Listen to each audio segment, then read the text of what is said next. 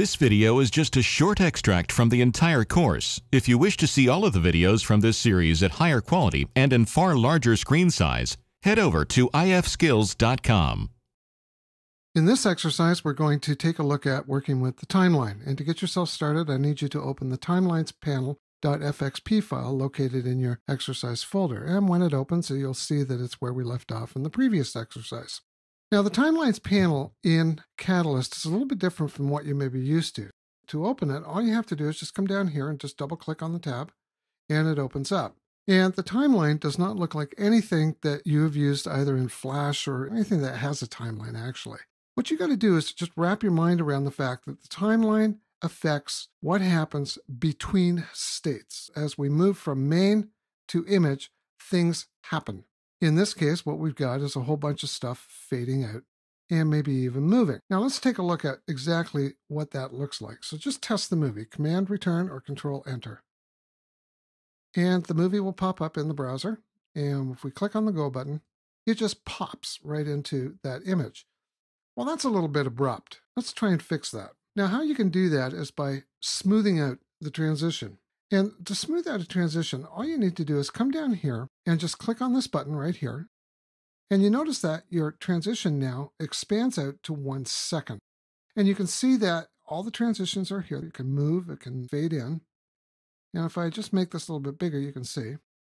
And you'll notice that the button, for instance, will fade out over one second. Now, if you want the button to fade out over two seconds, all you got to do is just grab that little tab or the little handle there and just drag it out to the two second mark. If you select the pop down, you can actually change the transition or the smooth transition option simply by doing it by the numbers. You can just click OK here. This is fine. Another place where you can actually do it is right here in the Properties panel. You can set the duration and how long it will wait. So if I have a delay, say of one second, and I want it to fade out over one second, and I hit the return key, you notice that that tab moves over to the one second mark. Nothing's going to happen for one second, then it's going to fade out over two seconds. Now, if you want to see what all that looks like, all you have to do is just click this little play button right here. If you click it, you can see that it just fades in and it pops back because that's just, you know, the nature of the timeline. The timeline loops, so you always go back to where you are. The other thing I need you to pay attention to is over here. Notice that there's a main to image, so that tells me that this transition is going to occur between main and image. Now, if I want to go between image and main, you see that it reverses the order. We're going to go from image to main. We're going to go from here to here. And if anything happens, it's just going to be a quick transition. So let's go back to the main to image. And you notice that that little green dot there, that tells you that you've changed things.